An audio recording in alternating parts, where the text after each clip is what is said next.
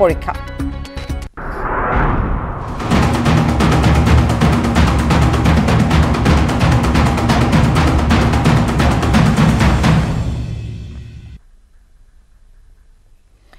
Evening হেডলাইন্সৰ সৈতে ষ্টুডিঅ'ত মই বাপৰি আৰু প্ৰথমটো খবৰ শিলচৰ মেডিকেল কলেজত উত্তপ্ত পৰিস্থিতি চিকিৎসক আৰু ৰোগীৰ পৰিয়ালৰ লগত মাৰপিটক কেন্দ্ৰ কৰি এই তীব্ৰ উত্তেজনাপূৰ্ণ পৰিস্থিতিৰ উদ্ভৱ হয় ৰোগীৰ পৰিয়ালক দুৰ্ব্যৱহাৰ কৰাৰ লগতে মাৰপিট কৰাৰ অভিযোগ চিকিৎসকৰ বিৰুদ্ধে ৰোগীৰ তেজৰ নমুনা সংগ্ৰহ কৰা কেন্দ্ৰ কৰি প্ৰথমে চিকিৎসকৰ সৈতে তৰ্কযুদ্ধ হয় ৰোগীৰ অভিভাৱকৰ চিকিৎসকে ৰোগীৰ পৰিয়ালক দুৰ্ব্যৱহাৰ কৰাৰ লগতে মাৰপিট কৰাৰো অভিযোগ কিন্তু কোন সঁচা কোন মিছা আৰক্ষীৰ তদন্ততহে পোহৰলৈ আহিব অৱশ্যে এই ঘটনা কেন্দ্ৰ কৰি শিলচৰ মেডিকেল কলেজ হাস্পতালত সৃষ্টি হৈছে তীব্ৰ চাঞ্চল্যৰ। আমি এই ঘটনাৰ সবিশেষ ইতিমধ্যে জনাব বিচাৰিছো যে এতিয়ালৈকে যিহেতু সঁচা মিছা এতিয়ালৈকে এয়া আৰক্ষীৰ তদন্তৰ আওতাত আছে কিন্তু চিকিৎসক আৰু ৰোগীৰ পৰিয়ালৰ মাজত এই মাৰপিটৰ ঘটনা সংঘটিত হৈছে। ৰোগীৰ পৰিয়ালক দুৰ্ব্যৱহাৰ কৰিছে আৰক্ষী দুৰ্ব্যৱহাৰ কৰিছে চিকিৎসকে। সেই কথা ইতিমধ্যে জনাইছে ৰোগীৰ পৰিয়ালৰ তৰফৰ পৰা। আনকি মাৰপিটো কৰা হৈছে বুলি জানিবলৈ দিয়া হৈছে। আৰু শিলচৰ মেডিকেল কলেজত এই উত্তপ্ত পৰিস্থিতিৰ সৃষ্টি হৈছে। চিকিৎসক আৰু ৰোগীৰ মাজত মাৰপিটৰ ঘটনা ৰোগীৰ পৰিয়ালক দুৰ্ব্যৱহাৰ কৰিছে আঘাতপ্ৰাপ্ত হৈছে ৰোগীৰ পৰিয়ালৰ লোক। আৰক্ষী ঘটনাস্থলীত উপস্থিত হৈ পৰিস্থিতি নিয়ন্ত্ৰণ কৰে আৰু এতিয়ালৈকে যিহেতু ঘটনাৰ সন্দৰ্ভত আৰক্ষীয়ে তদন্ত কৰি আছে গতিকে স- চিকিৎসক সঁচা নে বা আৰু যিহেতু এই ৰোগীৰ যি পৰিয়ালবৰ্গ আছে সঁচা বা কোন মিছা সেয়া সকলোবোৰ আৰক্ষী তদন্তৰ অন্ততহে ওলাই পৰিব। ব্লাড মনে হয়। ও আমার দূর হইছে ভাই। ও আমার দূর হইছে। ওই কোনদিন তুমি ইনজেকশন দিছো না নি? আমারে ওই আমি বেমারি আরও জনকে দিতরে তারা। তারা আমার মারছো আমার মারে আমারে। ফালাইছো ন। ব্যবহার শিখাইছে আমার ভিতরে মারে। নিছন রুমের ভিতরে নিছন পুয়া। ওই সময়ে কি হলো? তখন সঙ্গে সঙ্গে ওই ছেলে একটু উত্তেজিত হয়ে জিজ্ঞেস করা শুরু করল আপনাদের নাম বলেন ডেজিগনেশন বলেন বাড়ি কোথায় বলেন আর আমি আপনাদের ফটো নিচ্ছি। হ্যাঁ, তো ওই ছবি নেওয়াতে তখন আমার ডাক্তারকে বলল যে উইদাউট মাই পারমিশন আপনি তো ছবি নিতে পারেন। তো যার কারণে আমার ডাক্তার ওর কাছ থেকে মোবাইলটা নিয়ে নিল হ্যাঁ, নিয়ে যেন ছবিটা ডিলিট করা যায়। ওটা করতেই কি করেছে সঙ্গে সঙ্গে আমার ডাক্তার যে অন ডিউটি ছিল ওকে ওই ছেলে অ্যাটেন্ডেন্ট প্লাস ওর মা। ওর মা প্রথমে শুরু করেছে দুটো থাপ্পড় মেরেছে ছেলে ওকে ধরে মাটিতে ফেলে মেরেছে ওর কাটা হয়েছে।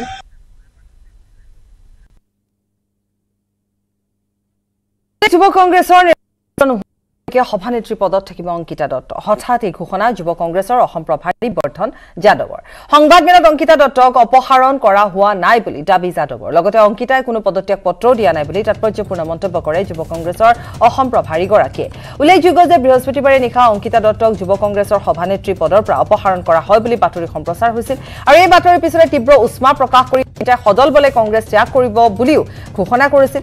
আনকি এই বাতৰিৰ পিছতে কংগ্ৰেছৰ ভিতৰ চৰাটো তীব্ৰ প্ৰতিক্ৰিয়াৰ সৃষ্টি হৈছে। সমগ্ৰ ঘটনা সন্দৰ্ভত অজ্ঞতা প্ৰকাশ কৰে স্বয়ং প্ৰদেশ কংগ্ৰেছৰ সভাপতি ভূপেন বৰায়ো এনে প্ৰতিক্ৰিয়া হোৱাৰ পিছতে আজি ৰাজীৱ ভৱনত ততাতৈয়াকৈ সংবাদমেল অনুষ্ঠিত কৰি অংকিতা দত্তৰ অপসাৰণ কৰা হোৱা নাই বুলি ঘোষণা কৰে বৰ্ধন যাদৱে। যুৱ কংগ্ৰেছৰ নিৰ্বাচনলৈকে অংকিতাৰ সভানেত্ৰী হৈ থাকিব বুলি উল্লেখ কৰে। আৰু উল্লেখযোগ্য যে অনুষ্ঠিত হ'ব যুৱ কংগ্ৰেছৰ নিৰ্বাচন। দুহেজাৰ ওঠৰৰ সাতাইছ নৱেম্বৰৰ পাছত অনুষ্ঠিত হোৱা নাই নিৰ্বাচন। গতিকে তাৰে পৰিপ্ৰেক্ষিতত যিহেতু কিছু এক প্ৰকাৰ ভুল বুজাবুজি হোৱা বুলি তেওঁলোকে উল্লেখ কৰিব বিচাৰিছে তেওঁলোকে কৈছে যে তেতিয়ালৈকে যিহেতু অংকিতা দত্তই সভানেত্ৰী হৈ থাকিব সভানেত্ৰী হৈ থাকিব সভানেত্ৰী পদত তেওঁ থাকিব গতিকে অংকিতা দত্তই কোনো পদত্যাগ পত্ৰও দিয়া নাই আৰু যিহেতু অংকিতা দত্তক অপসাৰণো কৰা হোৱা নাই বুলি কংগ্ৰেছৰ ভিতৰ চৰাৰ পৰা ইতিমধ্যে জানিবলৈ দিছে বিশেষকৈ বৰ্ধন যাদৱে এক সংবাদমেলৰ আয়োজন কৰিছিল আৰু সেই সংবাদমেলত জানিবলৈ দিছে नहीं देखिए किसी भी तरह का ना तो अंकिता जी ने कोई रेजिग्नेशन दिया है और ना ही यूथ कांग्रेस ने कोई एक्शन या कोई ऐसी चीज़ की है जिनसे हमने उनको पद से हटाया ये प्रोसेस है। तीन साल के बाद हर एक प्रदेश में यूथ कांग्रेस चुनाव के लिए जाता है। लेकिन अंकिता जी एक डायनेमिक लीडर है आसाम कांग्रेस की। उनका एक बहुत बड़ा चेहरा है। हमारी आईओसी कोलीग है। तो यूथ कांग्रेस की लीडरशिप का ये मानना था कि हमें उनको एक साल एज ए सेलेक्टेड कैंडिडेट रख के जब तक हम चुनाव नहीं करा सकते, तब तक उनको अध्यक्ष रख के हमें आगे जाना चाहिए। देखिए इलेक्शन तो एक कॉन्स्टिट्यूशन है।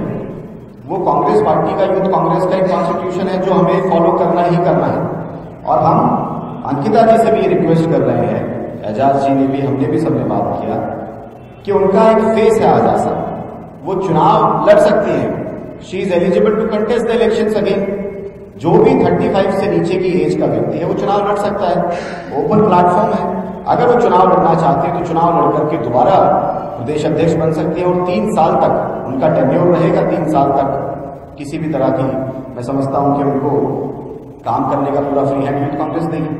देखिए ये तो कांग्रेस पार्टी ये ये तो कांग्रेस पार्टी की लोकतंत्र की भावना है। आपस में हम जो है एलिगेशंस को लगाते भी हैं सुनते भी हैं। लेकिन जहाँ तक मेरे ऊपर किसी व्यक्तिगत सवाल की बात है तो मैं समझता हूँ कि उसका फैसला आईवाईसी के अध्यक्ष बीवी श्रीनिवास जी आईवाईसी के इंचार्ज कृष्णा एलोवेरा जी। उनके समक्ष मैं इस चीज़ का जवाब दे सकता हूँ। मीडिया के सामने मुझे कि मेरे ऊपर क्या व्यक्तिगत आरोप है या नहीं है, उससे असम यूथ कांग्रेस का क्या नुकसान है, ये उनको सोचना है, हमारी लीडरशिप को सोचना है। कोई और आसाम का व्यक्ति डिसाइड नहीं कर सकता कि मेरे ऊपर जो आरोप है, उनका फैसला आसाम में होगा। अगर आप में से भी किसी को कोई ऑब्लिगेशन है इसमें या हमारे किसी यूथ कांग्रेस के साथी को है, वो दिल्ली आ सकते हैं। कृष्णा जी से मिलिए, श्रीनिवास जी से मिलिए, पार्टी के प्लेटफॉर्म पर अपनी बात रखिए। ये मंच किसी भी प्रकार के पर्सनल एलिगेशन के लिए नहीं है।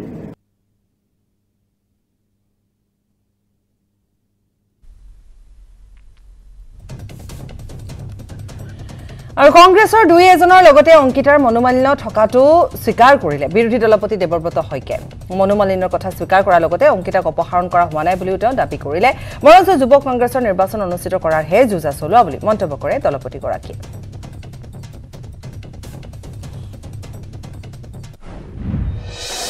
স্বীকৃতি নালাগে। অঞ্জন দত্তৰ তেজ আছে। সাহসৰে মই ৰাজনীতি কৰিছোঁ। দেউতা হেৰুৱাৰ পিছত যে এই পৰ্যায়ে পাইছোঁ ব্লু ব্লাড নহয় কাৰোবাৰ সন্তান হোৱাৰ কাৰণে পোৱা নাই মই। অংকিতা দত্তই যোৱা সময়ছোৱাত দলটোৰ কাৰণে যুৱ কংগ্ৰেছ মজবুত কৰিবলৈ চেষ্টা লৈছে। সেইখিনি শলাগিব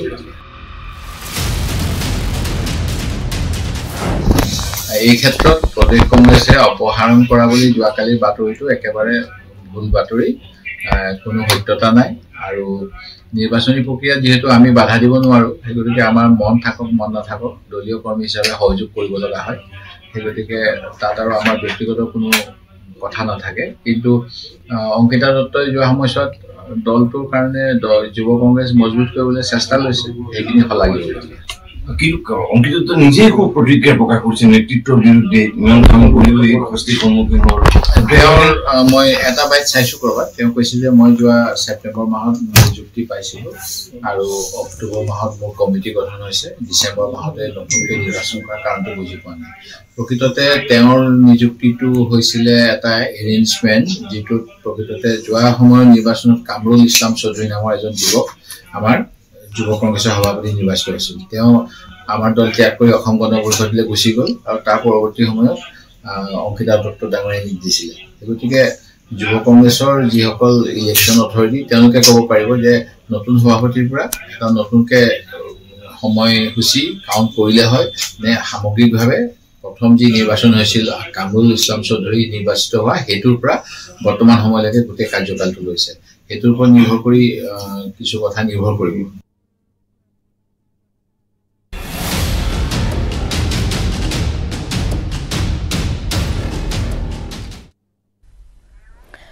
শীঘ্ৰে সলনি হ'ব ৰাজ্যৰ ৰাজনীতিৰ ৰেহৰু পুনৰ নিৰ্ধাৰণ হ'ব অসমৰ চৈধ্যটা লোকসভা সমষ্টি আৰু এশ ছাব্বিছটা বিধানসভা সমষ্টি। কেন্দ্ৰীয় চৰকাৰৰ সমষ্টি পুনৰ নিৰ্ধাৰণ হ'লে ৰাজ্যত আইন শৃংখলা পৰিস্থিতিৰ সৃষ্টি নহয় বুলি এন অ' চি দিলে ৰাজ্য চৰকাৰে। নাথাকিব জালুকবাৰী ছয়গাঁও কমলপুৰ পূব গুৱাহাটীও। জালুকবাৰী কমলপুৰ সমষ্টিৰ পৰিৱৰ্তে সৃষ্টি হ'ব দুটাকৈ নতুন সমষ্টি উত্তৰ গুৱাহাটী আৰু বিহদিয়া জাজিকনা। গুৱাহাটী লোকসভা সমষ্টি অতিৰিক্ত সমষ্টি হিচাপে অন্তৰ্ভুক্ত হ'ব চন্দ্ৰপুৰ সমষ্টিত। আৰু চমৰীয়া বকো পলাশবাৰী হাজো উত্তৰ গুৱাহাটী গুৱাহাটী চেণ্ট্ৰেল পশ্চিম গুৱাহাটী চন্দ্ৰপুৰ দিছপুৰ আৰু বৰক্ষেত্ৰীক সামৰি ল'ব গুৱাহাটী লোকসভা সমষ্টিয়ে। অসম চৰকাৰে গুৰুত্ব সহকাৰে লোৱা এই সমষ্টি পুনৰ নিৰ্ধাৰণ হ'লে দিছপুৰ আৰু হাজো সমষ্টি সংৰক্ষিত হ'ব এছ চিৰ বাবে। সমষ্টি পুনৰ নিৰ্ধাৰণ হ'লে একেই থাকিব কিন্তু অসম বিধানসভাৰ সমষ্টিৰ সংখ্যা। লোকসভা সমষ্টিৰ সংখ্যাও চৈধ্যটাই থাকিব অসমত। কিন্তু সমষ্টি পুনৰ নিৰ্ধাৰণ হ'লে দুহেজাৰ চৌব্বিছৰ যুঁজ হ'ব অতি ৰোমাঞ্চকৰ চেহেৰা সলনি হ'ব ৰাজ্যৰ অধিকাংশ লোকসভা সমষ্টিৰ নোহোৱা হ'ব মঙলদৈ সমষ্টি। মঙলদৈ সমষ্টিৰ ঠাইত হ'ব ওদালগুৰি লোকসভা সমষ্টি য'ত থাকিব নতুনকৈ গঠিত হ'বলগীয়া বাক্সা গোৰেশ্বৰ ভেৰগাঁও টংলা আৰু বৰ্তমানৰ ওদালগুৰি মাজবাট আৰু তামোলপুৰ।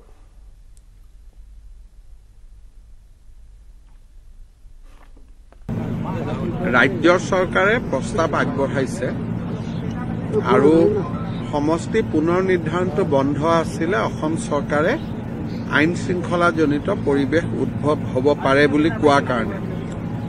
এতিয়া আমি লিখিত কৰি পঠাইছো যে সমষ্টি পুনৰ নিৰ্ধাৰণ হ'লেও অসমত আইন শৃংখলাজনিত পৰিৱেশ সৃষ্টি নহয়।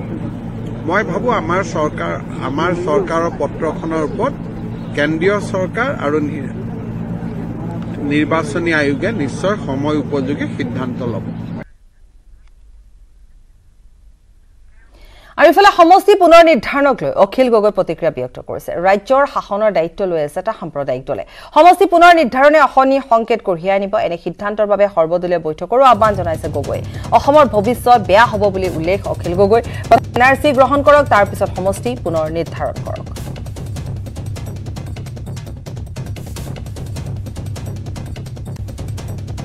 যদিহে ৰাজনৈতিক প্ৰভাৱমুক্তভাৱে ইলেকশ্যন কমিশ্যন হয় আমি ভাবিম যে ইয়াত ৰাজনৈতিক পক্ষপাত দুষ্টভাৱে মুখ্যমন্ত্ৰীয়ে একো হস্তক্ষেপ কৰিব নোৱাৰিব। কিন্তু যদিহে ইলেকশ্যন কমিশ্যনক সুপ্ৰিম কোৰ্টে আশংকা কৰাৰ নিচিনাকৈ ৰাজনৈতিক পক্ষপাতমূলকভাৱে কাম কাজ হৈ আছে তেতিয়াহ'লে তেওঁলোকে ৰাজনৈতিক সমীকৰণত সমষ্টি পুনৰ নিৰ্বাহ কৰিব পাৰে। সেইটো অতি দুৰ্ভাগ্যজনক হ'ব। আৰু আমি প্ৰতিবাদ কৰিম।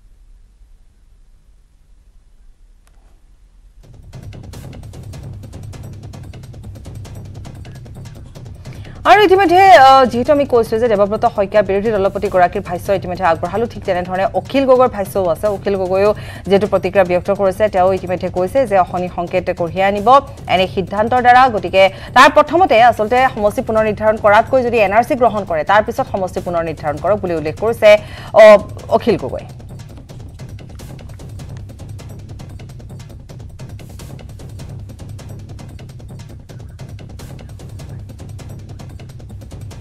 আমি পুনৰ এবাৰ কৈছো যে সমষ্টি পুনৰ নিৰ্ধাৰণক লৈ ইতিমধ্যে প্ৰতিক্ৰিয়া আৰম্ভ হৈছে। আৰু কালিৰ দিনটোতে আমি এই কথা উল্লেখ কৰিছিলো। মুখ্যমন্ত্ৰীগৰাকীয়ে যেতিয়াই যোৰহাটত এই ভাষ্য প্ৰদান কৰিছিলে যে যে সমষ্টি পুনৰ নিৰ্ধাৰণ হ'ব। আৰু এই সমষ্টি পুনৰ নিৰ্ধাৰণ হ'ব এই প্ৰসংগটো উত্থাপন হোৱাৰ লগে লগে বিভিন্ন বিভিন্ন ধৰণৰ প্ৰতিক্ৰিয়া ইতিমধ্যে আহিবলৈ আৰম্ভ কৰিছে।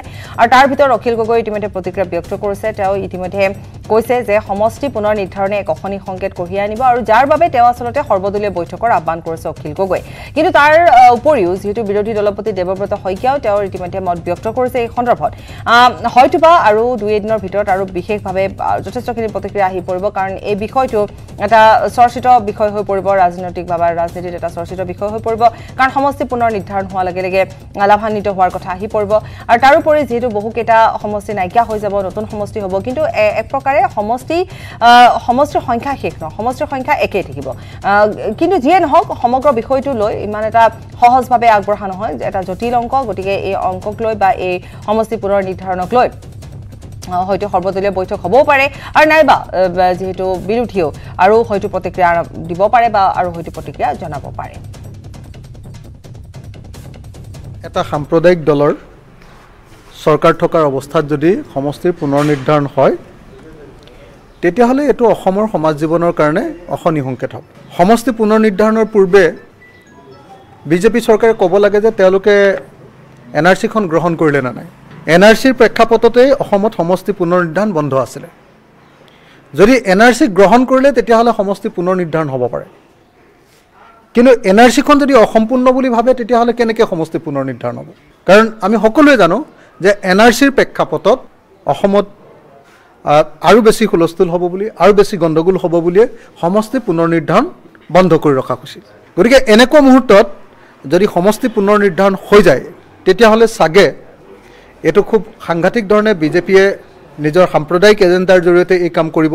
তেওঁলোকে জাতি জনগোষ্ঠীবিলাকক পৃথক কৰি পেলাবলৈ চেষ্টা কৰিব অপচেষ্টা কৰিব। তেওঁলোকৰ সকলো ষড়যন্ত্ৰ আমি দেখি আছোঁ সমাজখন ভাগ ভাগ কৰি দিবৰ কাৰণে ছ'চিয়েল ফেব্ৰিকটো ভাঙি দিবৰ কাৰণে তেওঁলোকে কৰা সকলো ষড়যন্ত্ৰ দেখি আছোঁ।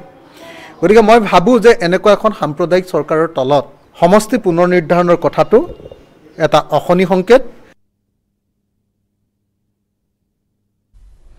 গুৱাহাটীৰ নতুন আৰক্ষী আয়ুক্তৰ দায়িত্ব গ্ৰহণ কৰিলে দিগন্ত বৰাই। আজি হৰমিত সিঙৰ পৰা নতুন আৰক্ষী আয়ুক্তৰ দায়িত্বভাৰ গ্ৰহণ কৰিলে দিগন্ত বৰাই।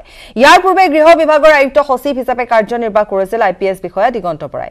উল্লেখযোগ্য যে বিগত কিছুমাহ ধৰি মহানগৰীত বিভিন্ন ধৰণৰ অপৰাধমূলক ঘটনা সংঘটিত হ'বলৈ ধৰিছে আৰু তাৰ বাবে ব্যাপক সাল সলনি ঘটোৱা হৈছে। মহানগৰ আৰক্ষীৰ শীৰ্ষ পৰ্যায়ত দিগন্ত বৰাক আৰক্ষী আয়ুক্তৰ দায়িত্ব দিয়াৰ লগতে কেইবাগৰাকীও নতুন ডি চি পি নিয়োগ কৰি কেইবাজনকো আন ঠাইলৈ বদলি কৰিছে চৰকাৰে। যিহেতু শেহতীয়াকৈ গুৱাহাটীত দেখিবলৈ পোৱা গৈছে যে এইটোৰ পাছত সিটোকৈ যথেষ্টখিনি ঘটনা সংঘটিত হ'বলৈ ধৰিছে আৰু মুকলিভাৱে ডকাইতি কাণ্ড হৈছে মুকলিভাৱে হত্যাকাণ্ড হৈছে মুকলিভাৱে ডিঙিৰ চেইন চুৰি কৰি লৈ যোৱা বা হাতে হাতে এতিয়া উদ্যত পিষ্টল হৈ পৰিছে। গতিকে এনেবোৰ যি কাণ্ড গুৱাহাটী মহানগৰীত হ'বলৈ ধৰিছে তাকে লৈ যথেষ্টখিনি আচলতে আৰক্ষী সমালোচনাৰ সন্মুখীন হৈছিল।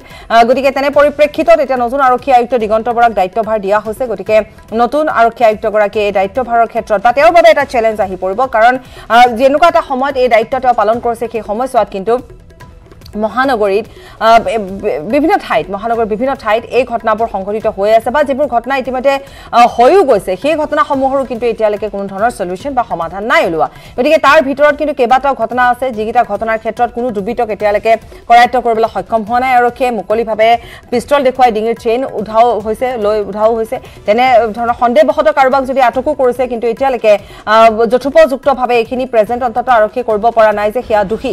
গতিকে তেনে পৰিপ্ৰেক্ষিতত এগৰাকী এগৰাকী নতুন আৰক্ষী আয়ুক্তক ইতিমধ্যে দিয়া হৈছে দায়িত্বভাৰ। গতিকে সেই দায়িত্বভাৰ কেনেধৰণে পালন কৰিব বা এটা এই সময়ছোৱাত এটা তেওঁৰ বাবে যথেষ্ট প্ৰত্যাহ্বানৰ সময় গতিকে এই প্ৰত্যাহ্বানৰ সময়ছোৱাত কেনেধৰণে আগবাঢ়িব বা নতুনকৈ আৰক্ষীয়ে কেনেকুৱা ধৰণৰ কৌশল বা স্থিতি গ্ৰহণ কৰিব সেয়া নিশ্চিতভাৱে লক্ষণীয় হ'ব।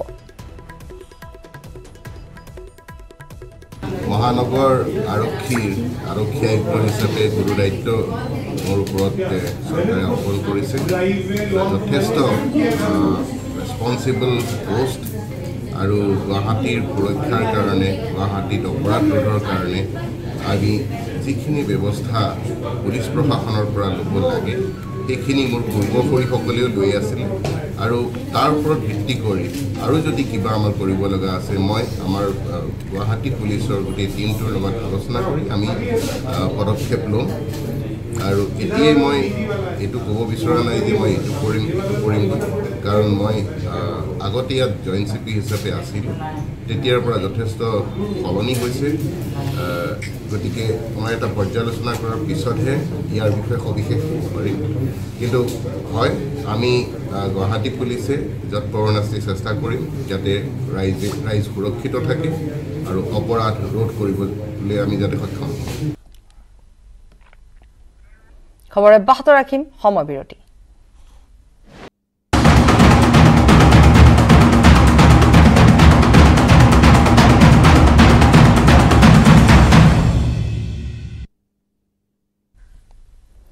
ইভিনিং হেডলাইন্সৰ পৰৱৰ্তী অংশলৈ উভতি আহিছো। কাইলৈ উত্তৰ পূবলৈ আহিব কেন্দ্ৰীয় গৃহমন্ত্ৰী অমিত শ্বাহ। শ্বিলঙৰ নৰ্থ ইষ্ট কাউন্সিলৰ এখন বৈঠকত অংশ ল'ব অমিত শ্বাহে। বৈঠকৰ অন্তত উত্তৰ পূৰ্বাঞ্চলৰ প্ৰতিটো ৰাজ্যিক কমিটিৰ বিষয়ববীয়াৰ সৈতে মিলিত হ'ব গৃহমন্ত্ৰীগৰাকী। লগতে সাংগঠনিক কাম কাজৰো বুজ ল'ব অমিত শ্বাহে। কাইলৈ অমিত শ্বাহ উপস্থিত হ'বহি আৰু অমিত শ্বাহে উত্তৰ পূবলৈ আহিব কেন্দ্ৰীয় গৃহমন্ত্ৰীগৰাকী। শ্বিলঙৰ নৰ্থ ইষ্ট কাউন্সিলৰ এখন সভাত অংশগ্ৰহণ কৰিব। প্ৰতিটো ৰাজ্যিক কমিটিৰ বিষয়ববীয়াৰ সৈতে তেওঁ কথা পাতিব। সাংগঠনিক কাম কাজৰো বুজ ল'ব। বৰাক তিনিখন জিলা বিশেষকৈ হাইলাকান্দি কৰিমগঞ্জ আৰু কাছাৰ। এই তিনিখন জিলাত আমাৰ সাংগঠনিক ভেটি আৰু লগতে দলৰ কাম কাজ কিদৰে চলি আছে গোটেইখিনি কথা মনিটৰিং কৰাৰ নিমিত্তে আৰু কাৰ্যকৰ্তাসকলক অকণমান মত বিনিময় কৰা আমাৰ দলৰ সাংগঠনিক ভেটি কিছু মানে আৰু অধিক সক্ৰিয় কৰাৰ নিমিত্তে ইয়াত আমাৰ তিনিদিনীয়া প্ৰৱাসলৈ আহিছোঁ। ওঠৰ তাৰিখে আমাৰ সন্মানীয় গৃহমন্ত্ৰী ডাঙৰীয়া মানে শ্বিলঙলৈ যাব। তাত এন ই চি মিটিং আছে নৰ্থ ইষ্ট কাউন্সিলৰ যিহেতু গৃহমন্ত্ৰী ডাঙৰীয়া সেইখন কমিটিৰ অধ্যক্ষ। লগতে আমাৰ নৰ্থ ইষ্টৰ যিহেতু গোটেইখিনি বিষয়ববীয়াক এবাৰ লগ পোৱাৰ নিমিত্তে নিজ নিজ জিলাত বা নিজ নিজ ৰাজ্যত কিদৰে সাংগঠনিক কাম চলি আছে এই আটাইখিনি কথা পৰিস্থিতি বুজ লোৱাৰ নিমিত্তে তেখেতে যিহেতু শ্বিলঙত থাকিবই সেই নিমিত্তে আমাৰো আটাইকেইখন ৰাজ্যৰ বিষয়ববীয়াসকল প্ৰেচিডেণ্ট সংগঠন মন্ত্ৰী সকলোকে তেখেতে আমন্ত্ৰণ আৰু খবৰ আছে সময় বিৰতি। সাধারণ স্টিল। এনে কই পরে? মাইথন